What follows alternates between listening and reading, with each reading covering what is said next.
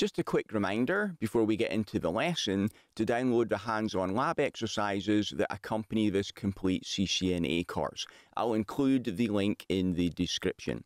Also remember to subscribe and hit the notifications bell so you don't miss any of the lessons in the course. Okay, let's get into it.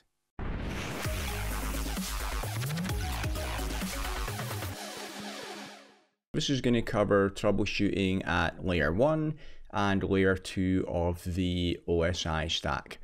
First thing, our copper and fiber cables are liable to break if not handled correctly. So just please treat cables correctly, like don't bundle them up and wrap them up together because you're liable to break them if you do that. You'll see it happening quite a lot in the real world.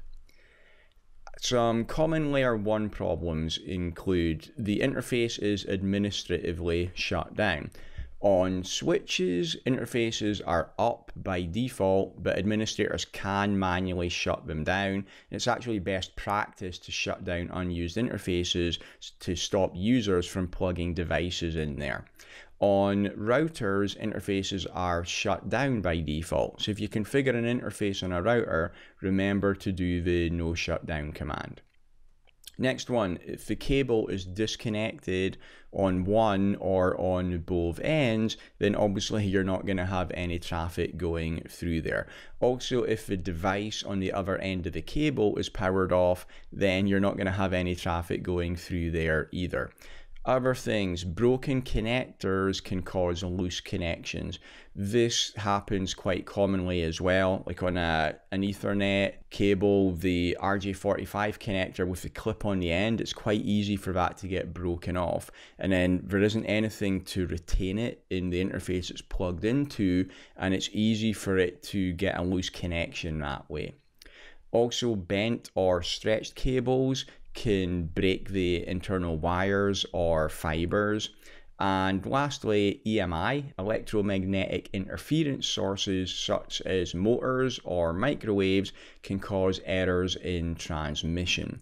That is not such a big problem if you've got newer cable, like Cat7 has got much better shielding than Cat3 cable does. Our troubleshooting command at layer one, useful command is show IP interface brief. When you do that, it will show you the status of the interface. If it shows administratively down, that means you haven't entered the no shutdown command. So do that to bring the interface up.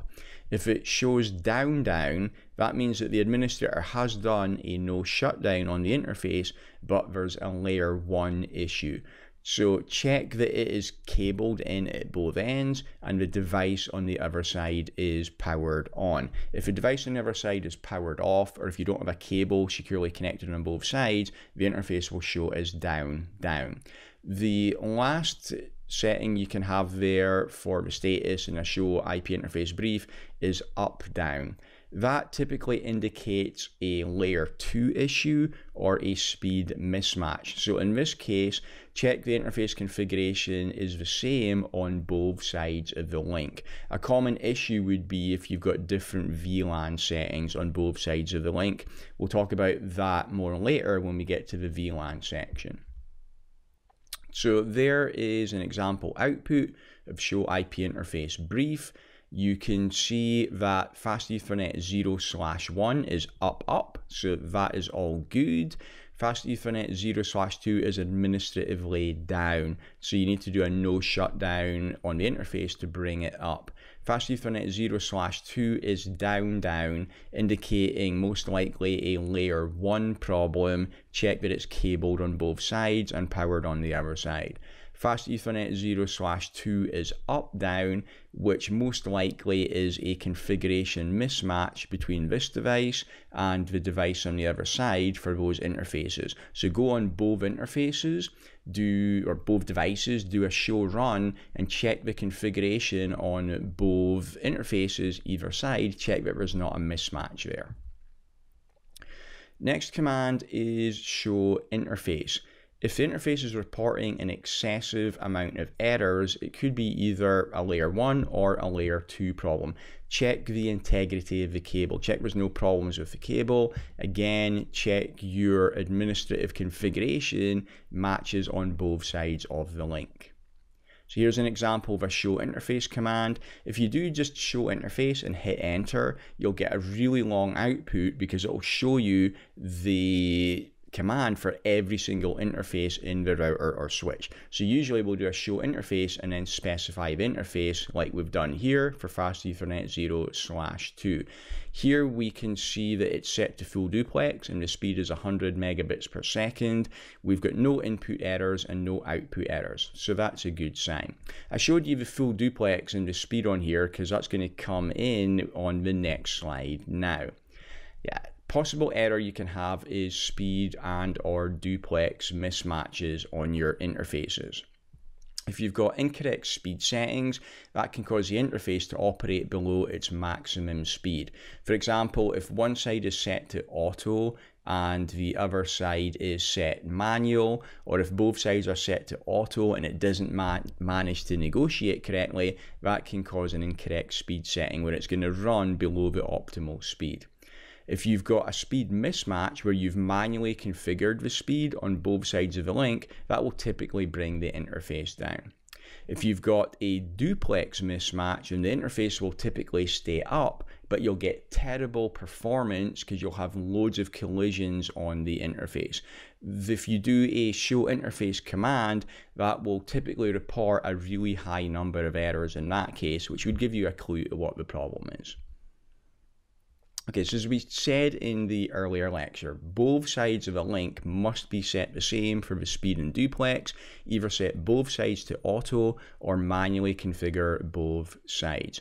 Now, you don't need to do that for all ports. So for example, in one switch, maybe port one is set manually and the device on the other side has to be set manually. Maybe port 2 is set auto, the device on the other side of that link should also be set to auto your Cisco devices will default to auto.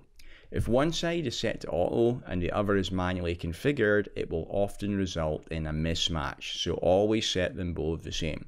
Best practice is to manually configure ports attached to other network infrastructure devices or servers. So your routers, your switches, your firewalls, etc. Have those configured manually. Also your servers. For your normal PCs, we're going to have a lot of those. We'll typically leave that set to auto. Again, remember, if you do configure it manually, do both sides of the link. If a device has issues with auto-negotiating speed or duplex, then manually configuring both sides will normally solve that problem. If you do have a duplex mismatch, then CDP, the Cisco Discovery Protocol, should detect that and it will log it like you see in the example here. We've got a duplex mismatch discovered on fast Ethernet 0 slash 0, not half duplex.